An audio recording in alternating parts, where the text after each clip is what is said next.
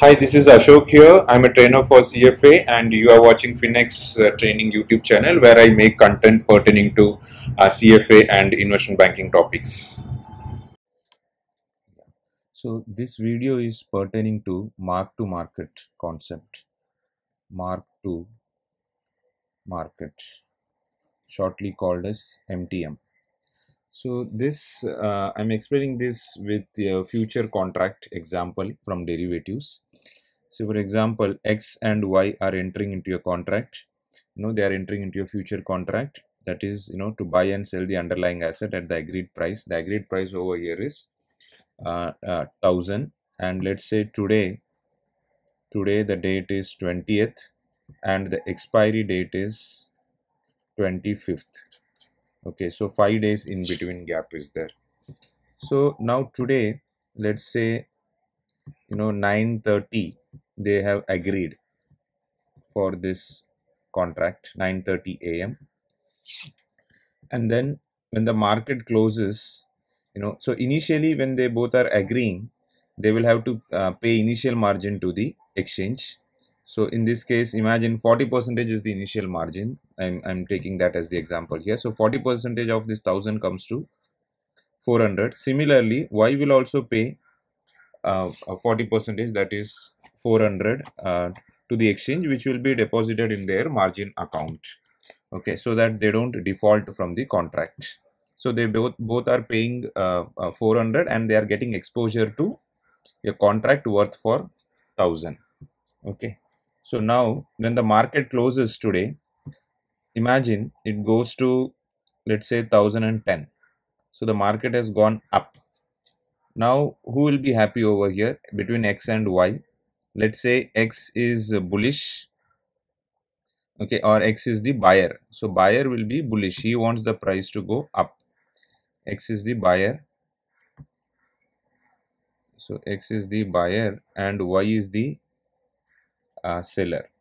So buyer wants the price to go up and seller wants the price to come down. Okay.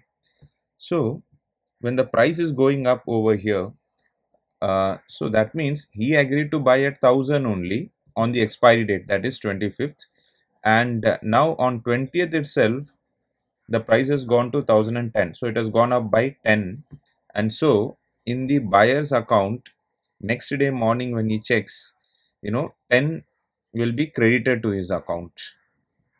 10 will be credited to his account. And similarly uh, so now this 10 is is not coming from the sky right? So this 10 is coming from whose pocket? It will come from the seller. So from this seller's account 10 will be reduced and he will have the balance of 390 okay so this is let's say this is based on 20th uh, uh, 20th uh, you know closing price.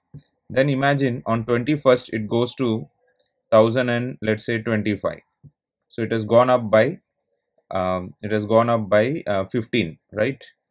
1025 minus 1010 so it comes to 15 so this is happening on 21st 21st end of the day the closing price is 1025 so what will happen is the next day again you know the buyer is happy because the price has gone up okay? So now the effect we have to give between 1025 and 1010 so the effect is you know the, the 15 uh, 15 in between. So that 15 amount will be added to the buyer and again you know it will be reduced from the uh, seller's account okay? It will be reduced from the seller's account so I'm just writing here minus 15 minus 15 then imagine next day you know now every day it may not go up right? So let's say next day it comes down to 1020 so this is happening on 22nd 22nd 1020 so now in this case who is happy now now you see the price is going down. It is going down from 1025 to 1020 so in this case seller will be happy. So so now we have to give the effect for 1020 to 1025 so there is a gap of 5 so in this case seller is you know gaining 5 and so it is coming from the buyer's pocket. He will lose 5 okay similarly let me erase this to get some space. Similarly let's say 23rd it has gone to assume 23rd it has gone to you know let's say 1050 so it will be plus 30 here it will be minus 30 here because there is a gap of 30 now and it has gone up. So it will favor the buyer. So this is happening on 23rd 23rd then on 24th imagine it has come down by 10 okay so it goes to 1040 so 24th so because it is coming down seller will be happy. So he will get 10 and buyer will lose 10 okay. And on 25th mind you 25th is the is the expiry date 25th so 25th imagine the price goes to 1000 and uh, let's say 1030 so 1030 this is the last day 25th expiry day expiry date. So it has come down by 10 so because it is coming down seller will be happy. So he will get 10 and uh, so the next day he is going to get 10 and and he the buyer will lose 10 over here. That's it. After that the contract gets expired. So on 26th what is the price? It doesn't matter to x or to y. That will not be accounted over here as 25th is the expiry date. So now what happens? Okay because 25th expiry date has happened now let's just count. So mr x the buyer he brought in 400 and he got the uh, exposure towards the contract worth for 1000 rupees right? So if i calculate all this so it will come to it comes to 430 and so that means he brought in 400 and he got 430 so if he has got 30 extra that means seller should be losing 30 so he should have 370 let's just you know again add up all this and let me just confirm it. Yeah so when i calculate all this it comes to 330 okay so this is um, this is you know uh, this is how how uh, daily settlement is calculated through mark to market uh, concept okay so so he brought in 400 but then see this example i have shown with only you know only one uh, uh, uh, uh share example. But however practically it will happen in lot. What do you mean by lot? So one lot will have you know one lot depending upon from company to company. So suppose one lot may have uh, you know it may represent 100 shares or it may represent you know 150 shares or 200 shares it depends from company to company okay? Or 200 shares it depends from company to company okay? Nothing fixed over here it depends from company to company. So if it is for one lot assuming let's say one lot represents 100 shares so in this case how it will happen is if one lot is representing 100 shares one shares price is 1000 so that means the contract value practically how it will happen is contract value is 1 i mean uh, 1000 contract value is 1000 so this is the uh, i mean sorry.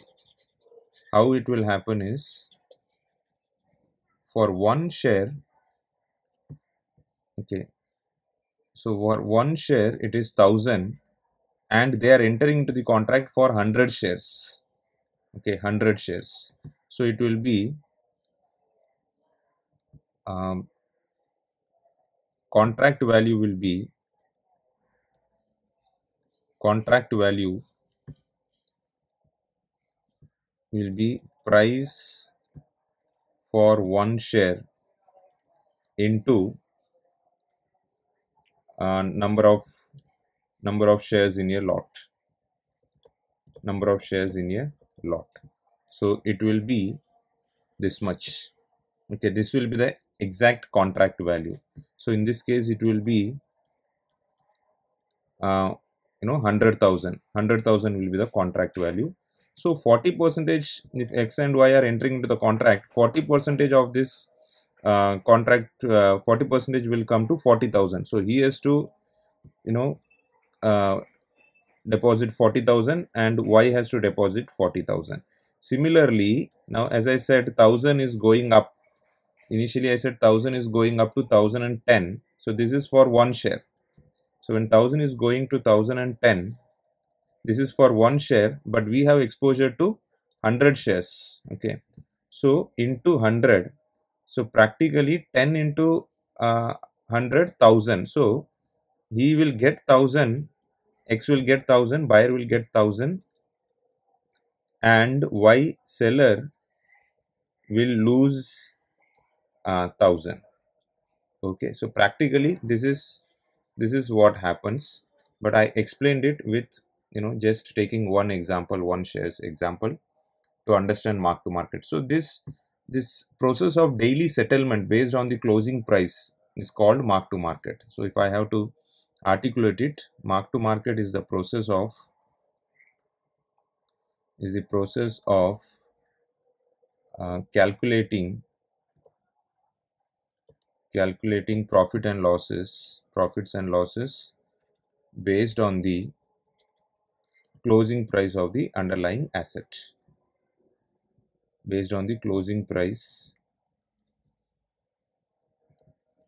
based on the closing price of the underlying asset. Okay. So this is mark to market. Thank you. Thanks for your time